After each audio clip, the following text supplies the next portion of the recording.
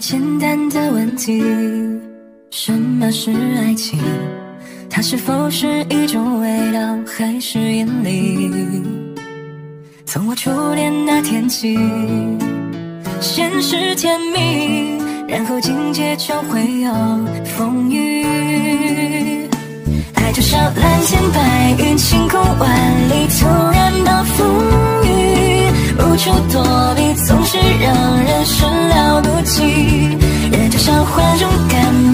着喷嚏，发烧又休息，冷热交替，欢喜忧郁，乐此不疲。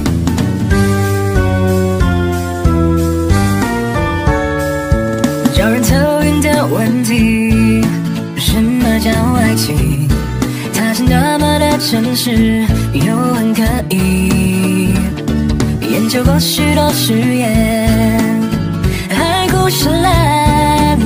想要解释越乱。爱就像蓝天白云，晴空万里，突然暴风雨，无处躲避，总是让人始料不及。人就像患重感冒，打着喷嚏，发烧要休息，冷热交替，欢喜忧郁，乐此不疲。